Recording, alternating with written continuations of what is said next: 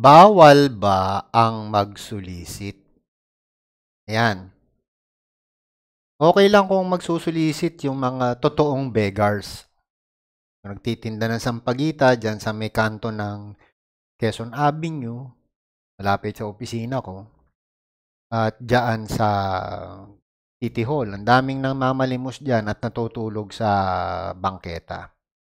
Pero kaduda-duda kapag ang nag uh, susulisit ay isang malaking organisasyon. At ang isa sa malaking organisasyon na sinasabi kong nagsusulisit ngayon at nahihiya ako, nahihiya ako sa organisasyong ito ay ang Bureau of Internal Revenue. Nagpapasalamat ako kay June Ramos uh, at uh, lagi niya tayong uh, sinusubaybayan at lagi niya tayong binibigyan ng mga fresh update katulad ng letter na ito. Isa ho itong solicitation letter at uh, magpapasko na.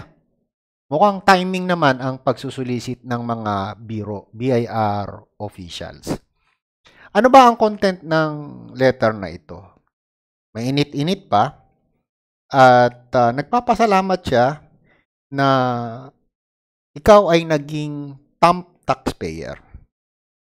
Sinasabi niya na may problema ang bansa natin sa COVID at ang bansa natin ay lukmok ang ekonomiya dahil sa COVID. At humihingi siya. Ha? Humihingi po siya ng tulong. Ayan po. With sincere gratitude. Ano hinihingi niya? Napakabigat po bilang sa mga taxpayer yung hinihingi niya. Ito po. Sabi niya, dapat daw mag-increase ng 20% ang binayad mo from previous year sa babayad mo ngayon. Ibig niyang sabihin, kung binayad mo ay 1,000 nung previous year, dapat ang bayaran mo ay 1,200. Para namang naglolokohan tayo dito, kasi sinabi, binabanggit din niya kung saan gagamitin. Diba? Kung may pera ako, hindi ko bibigay sa BIR. Ba't ko bibigay sa iyo? Sabi mo, may mga taong nagugutom. Hahanapin ko yung mga taong nagugutom at doon ko ibibigay yung pera ko.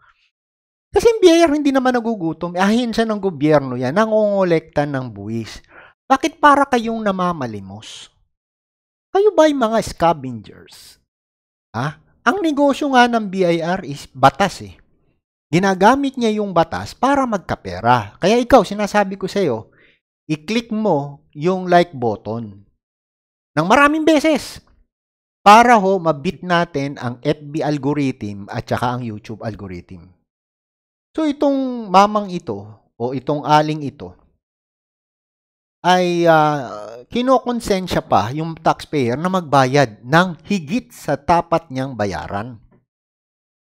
More than eh, previous year. Eh. Di ba ang tax is based sa capacity to pay? Bakit ka nang hihingi ng sobrang tax? Hindi ba bawal yon? Bakit hindi ka na lang maghintay? Pabiyayaan mong mag-voluntary uh, overpayment yung taxpayer. Di ba may tinatawag na erroneous payment o overpayment? Bakit gusto mong mag-overpayment ang mga Pilipino? Ha? Ikaw, tinakausap kita. Hindi ka ba nahihiya sa balat mo? Okay? Meron tayong batas at gusto mo yung mga Pilipino i-violate yung batas sa pamamagitan ng pagbabayad ng sobra. Di ba sabi na hindi ka dapat magbayad ng sobra? At nakalimutan mo na ba yung prinsipyo ng solutio in debiti? na ang sabi, no one shall enrich himself or herself or itself unjustly at the expense of another.